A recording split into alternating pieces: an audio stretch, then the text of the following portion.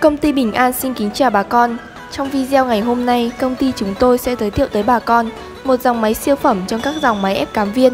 Đó chính là máy ép cám viên trục đứng S250.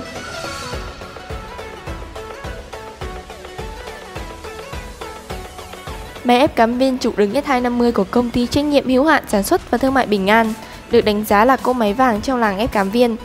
Máy có thể ép đa dạng nguyên liệu như bột cám ngô, bột cám gạo, ngô hạt, đỗ tương cùng rau cỏ, cua cá ốc thành dạng viên nén dinh dưỡng và chất lượng cho vật nuôi.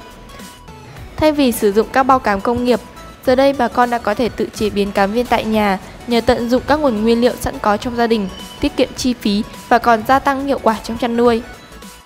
Thiết kế máy hiện đại với máng nạp to rộng, chứa đựng lượng lớn nguyên liệu. Khoang làm việc linh hoạt với hệ thống hai quả lô tân tiến, làm việc liên tục cho năng suất từ 250 đến 350 kg trên giờ. Máy ép cắm viên trục đứng S250 của công ty Bình An hoạt động chủ yếu dựa theo sự truyền tải mạnh mẽ của động cơ 7,5 kg 3 pha, được hỗ trợ nghiền ép nhanh chóng nhờ bộ cầu hộp số ô tô khỏe khoắn, sẽ cung cấp một lượng thức ăn lớn cho bà con chăn nuôi.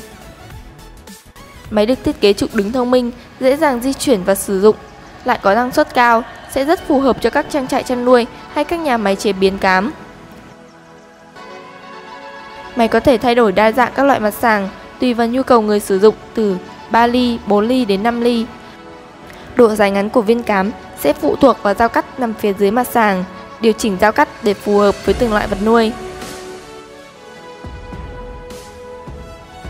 Trong quá trình hoạt động của máy sẽ sinh ra một lượng nhiệt từ 60 đến 70 độ C.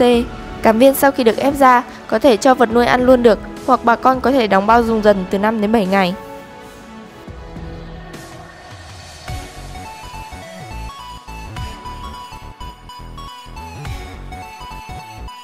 Mua hàng trực tiếp tại công ty Bình An, quý khách hàng sẽ được hưởng chính sách bảo hành máy trong 6 tháng, nhận giá máy niêm yết tại xưởng sản xuất. Vậy tại sao quý vị cần không nhanh tay liên hệ đặt hàng với chúng tôi để được tư vấn miễn phí và hỗ trợ kỹ thuật trọn đời?